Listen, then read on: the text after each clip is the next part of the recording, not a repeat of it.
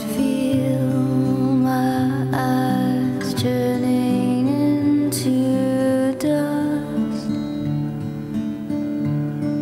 And to stray